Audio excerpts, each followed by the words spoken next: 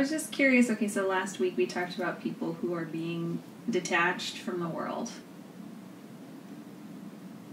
As that process is unfolding, and they still have to be in the world, how are they able to cope with that being in the world?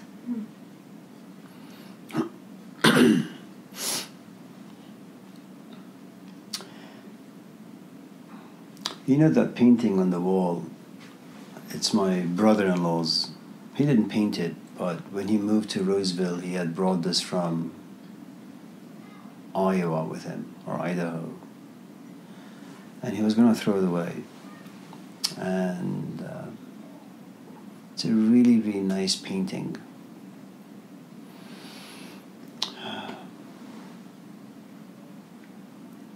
And I was always wanted to live in a place like that, you know. It's the only house you see. It's probably like the next house you can find nearby is probably like a few states away. And usually, when I sit in this room and I just look at that painting constantly, sometimes I wonder how one survives. Will they have a dog? You know, will they have a horse or a cat or some pet? But the first thing is, why would anyone desire to leave the city and move to a place like that? You know, it's a great place. It's forests, mountains in the back, snow, beautiful trees, nice little pond.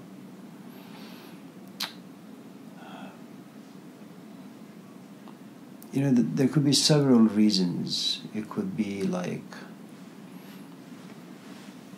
know, someone was very close to their mom or their dad, and they passed away. And it was just too much for them. It was too much anger, too much hatred, perhaps. Uh, profoundly disappointed by,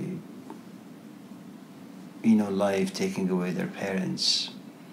And they happen to be in a position of privilege where they, you know, have some money where they go and buy a cabin like that and they live in the woods uh, you know, simply because they can't understand why God or life would take someone they love so much away from them. Uh, it could also be the outcome. I mean, it's a very lonely place where you look at it. I mean, it, it looks great when you look at it from a distance as a painting and you begin to kind of have all these fantasies about yourself living there. But you know, if you've been in city and have lived in the city for like me for about 50, 60 years, the idea of going into seclusion, living by yourself somewhere in the forest, I think as an idea it sounds great. As a reality, I think it's a horrifying process. Because uh, you have to detox, and like any addiction, you know, you're going to have relapses. You're going to be consumed by anger and hatred. You're going to doubt, I mean, why did I move from uh, this city to this place? Uh, you must have really come to some profound understandings about yourself, about life, where you know, you kind of sell everything, you move into the forest, you build yourself a nice little cabin, and uh, you know, you have no desire to go back to the city except to buy food, you know.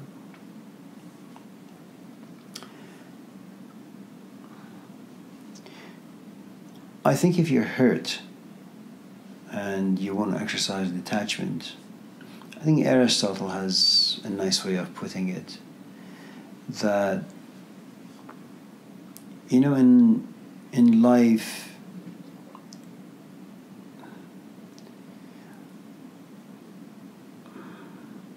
you either become a beast or you become a god.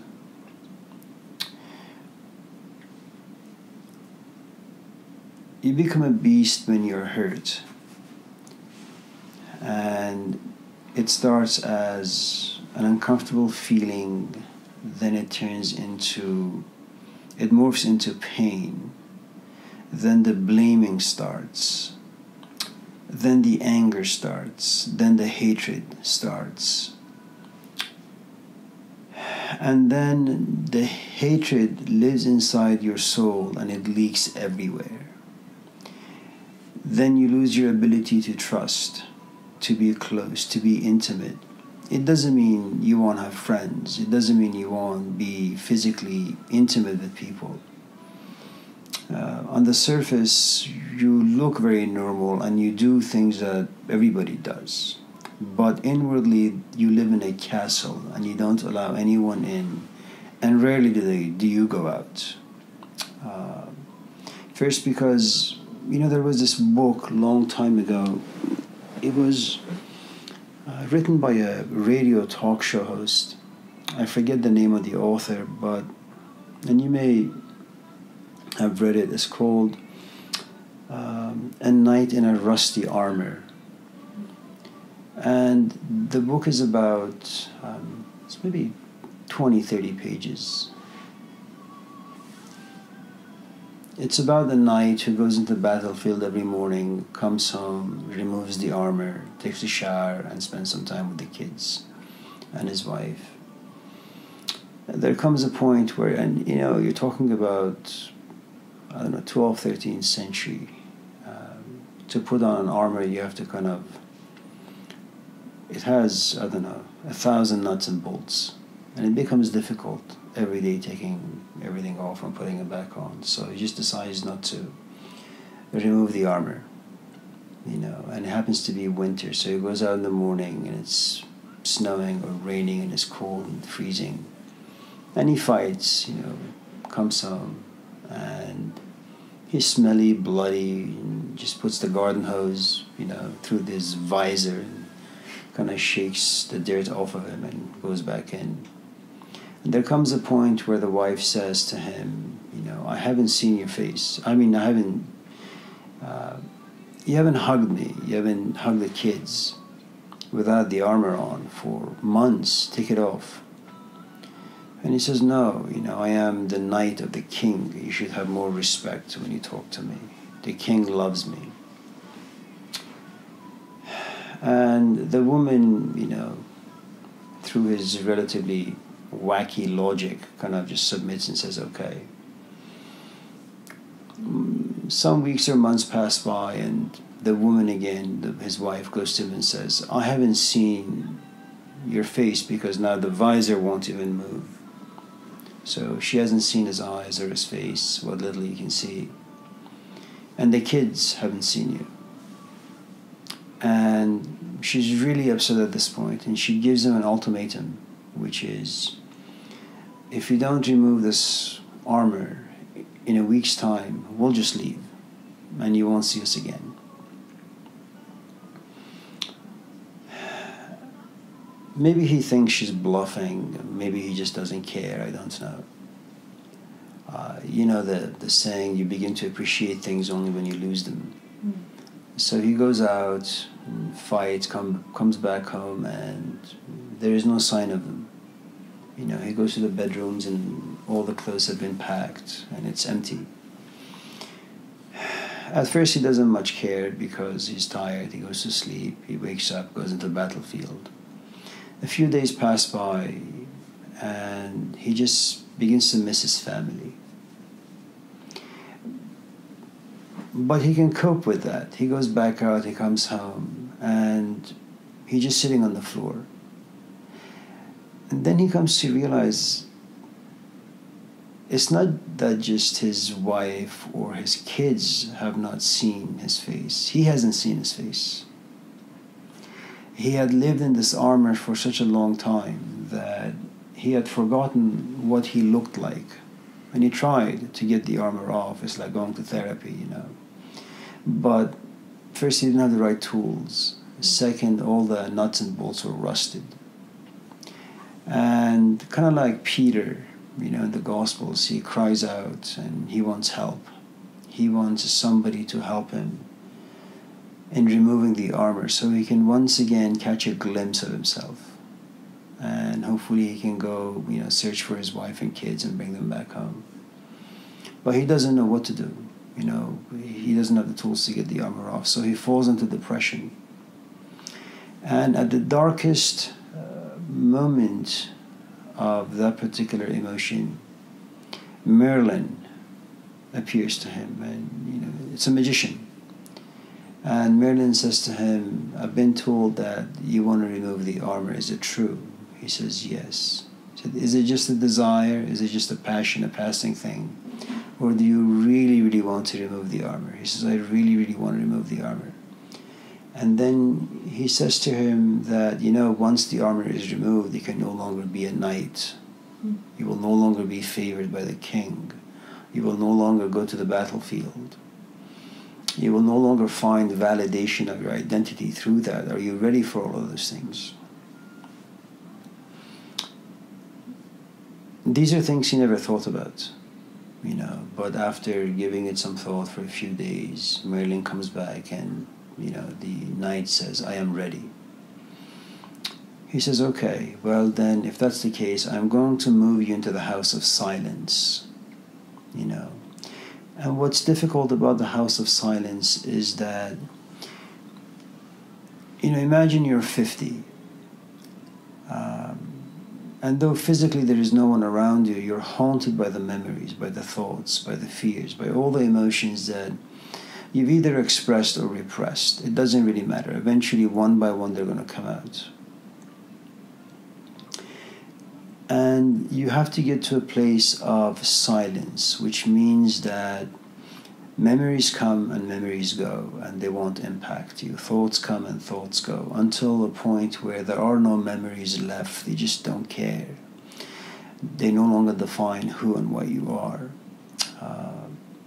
Your history becomes completely irrelevant, you know. And then once that happens, he sees or feels the armor being loosened a little. Merlin comes back at this point, and that's like 20 years away. And says to the knight that you've done a good job. You know, it's taken you a while, about 20 years, but you're there. So let's move you now to a different house. And it's called the House of Wisdom. You know, I think the book calls it the House of Knowledge. They may be the same in that book. And now he's given tools and now he's being shown how to apply the tools so that the armor can be unbolted uh, and I'm going to add on to the story because it's not in the book. And so after like 15, 20 years, all the nuts and bolts, you know, are removed and the armor falls to the ground. For the first time in many, many, many, many years, he sees his face. He sees his body. And it takes time for him to, you know, adjust to all the things that he sees. And then once he is adjusted, you know, um, he goes looking for his wife and his kids and eventually finds them, brings them back home.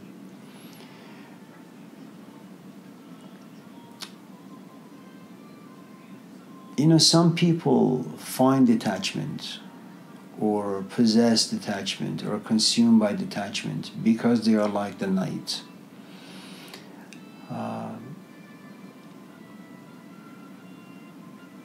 It is true that you know he initially got depressed because his wife and kids left him. But his depression kind of really exploded when he came to realize he hasn't seen himself you know. And then he had to figure out who he is what he is and what he wants to do with all of that.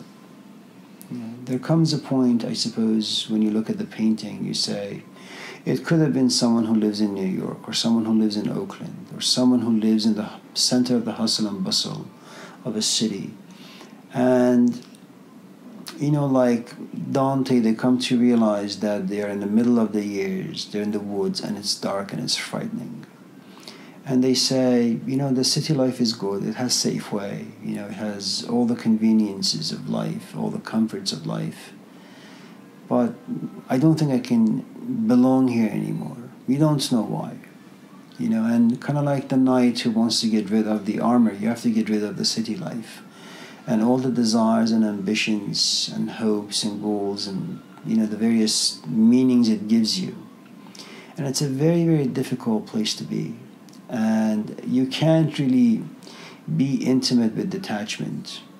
And you can't live with detachment if we don't have real understanding if we don't know why you moved out of the city in the first place you know, it's kind of like one of those things that the Catholics go through, the priests, which is sure, at the age of 18 or 19, you watch the movie Stigmata and you say, Yeah, I want to serve God and I want to serve God's creation, whether it's a horse or, you know, a human being. You know, and at the age of 18, inspiration is really good. You know, uh, you go to the Vatican, you serve your time, uh, and then the inspiration becomes a routine. On a daily basis, you wake up, you read some passages, you kind of pray, you sit quietly, and then you go, you give your sermon. And as your life becomes more and more routine, you become more and more human. And all the desires that you never thought you would ever have eventually come to you. And so you know, and all the horror stories that come out of the Vatican about priests doing this to this kid, you know, the other one doing that to that kid.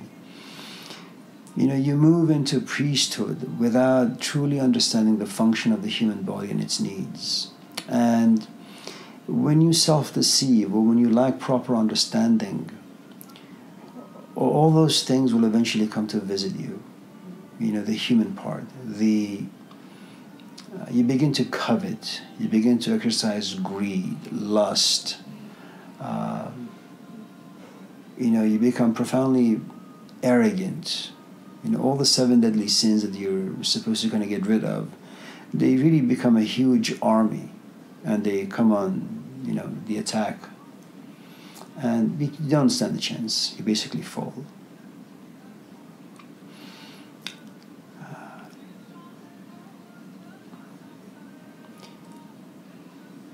You know, for someone like Aristotle, he would say that someone who truly has an understanding and says to himself or herself after a long life of self examination, says to him or herself, I don't think I want to get married.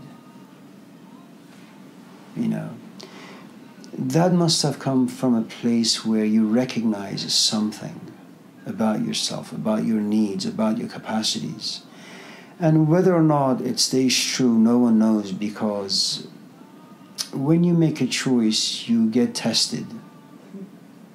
You know, uh, it's like you know you're getting your master's or PhD in hopes of being in a classroom and teaching, and in your head you think yourself to be a great teacher, and no one knows. You know, you may be, and then you walk in the classroom, and that is where the test is. There you realize how much worth you know, um, how much your salt is worth.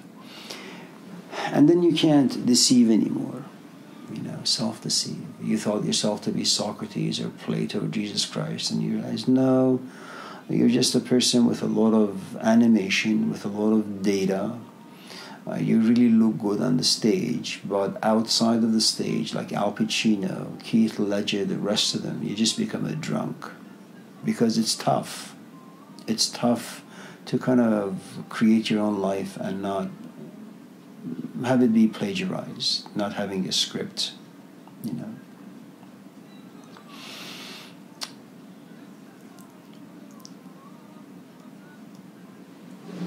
Aristotle calls those people close to being a god because they have so little need for other people. They have so little need for places like Safeway or Costco. You know, they can kind of self sustain. Uh, you know, Saeed's father has passed. He passed away some years ago. And I had known him casually, of course. You know, he was much older than I was. And uh, so it's, at least in our culture, it's not that easy to kind of uh, become close to people who are like twice your age. But I remember from the time I met him, which was, I think, in the 80s perhaps, I never saw him have a conversation when we were at gatherings. He would just sit, uh, he would look around, and there were moments I just looked at him and I said to myself, he's really just making fun of us.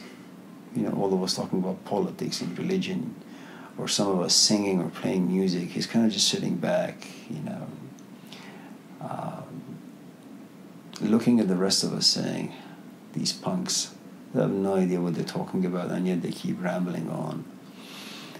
Um, I think in the course of knowing him for almost 40 years, maybe, uh, or 35 years, maybe I heard him talk um, four or five times. He spoke a few more times to my father because they were, you know, from the same kind of time period. And uh, they both enjoyed politics and religion.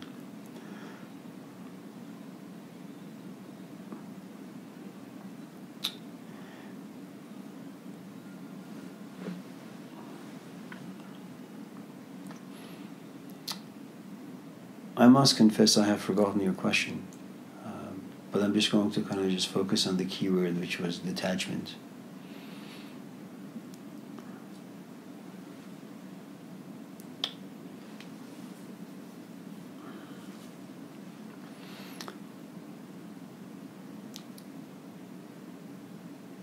You know, pain makes you really, really focused it doesn't matter what kind of pain it is, whether it's a physical pain or whether uh, you're dealing with a pain that you experienced some years ago and it just haunts you day and night. Uh, or whether it's like an intellectual pain, which is you're trying to figure out all the subtleties of the allegory of the cave, you know, or you're trying to figure out what the hell was Wittgenstein talking about you know, about language and the fly in the bottle and all that stuff. Uh, or you have some spiritual pain. The, the function of pain is that, especially if it's hitting a nerve, it won't let you focus on anything else except itself. Pain is profoundly selfish. It takes away, takes away all the other desires that may live inside you all the other frustrations that may live inside you, all the other ambitions. And it just forces you to focus on it. You just have a toothache. You don't care what happens to your math class. You don't care what happens to your boyfriend. You don't care what happens to your kids. You have a toothache and it just won't leave you alone and it's painful. And I think if you focus on those moments where the pain is really, really intense. You don't much care about anything. You're completely detached. You know, all you say to yourself probably is, I knew I should have flossed every night. I should have brushed every night. Um, you know, I remember going to Iran a few times. I get airsick and so, 10 minutes into the flight, I start throwing up. And from you know, San Francisco to Iran, you go to Germany, and from Germany, you go to Iran. It's about a 15, 16 hour flight. And I, in the morning, I don't eat anything. Before, you know, at nighttime, I don't have dinner either. And on the plane, I don't eat anything because I just get airsick, which means I throw up. And I usually throw up when I, you know, get in the air, maybe 200 times. Nothing comes out because my stomach is empty. But the pain becomes so much that, and I'm not joking, I literally pray for the aeroplane to explode so I could die. Mm. I don't care for anything. I am completely detached from everything about life, including life itself you know.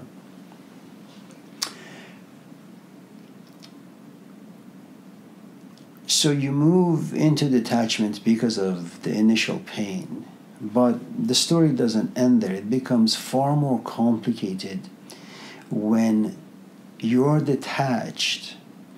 It has become a way of life, but it is no longer in pain, no longer rooted in pain which means that there's a good chance that once the pain goes away, you'll go back to being the person that you are, which is you love the city life, you are over your mom having passed or your boyfriend or girlfriend having broken up with you. And the tornado inside has kind of quieted down, and now you go back. Um, only to experience the same thing again, you know.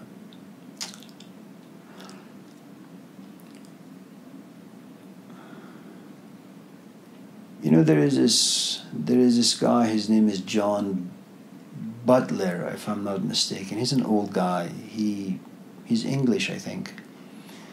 Um, I don't know if he's dead or alive now, but he also wrote a book. I don't even know what the book is called. It's not that interesting, at least for me, but. Um, he was married, I think, and he had children. And um, he used to sit and meditate. And in, his meditation, he had an experience. Whether it was a figment of his imagination or something that was actually real, I, I don't know. But he thought it to be real and true. And it was so intense for him that he could no longer relate to his wife. He could no longer relate to his kids. He could no longer relate to anything that life uh, had to offer him. He couldn't connect to anything you know. And it's it's a funny thing because when you realize that you are Pegasus, this this winged horse, and you can fly, you will no longer you're no longer willing to go down and walk with people. You can fly. You know, why the hell would you want to come down here and be agitated by people who lack understanding because life simply doesn't afford them time, the privilege to sit and think or to even be interested. So he kind of just flies up there by himself. Uh,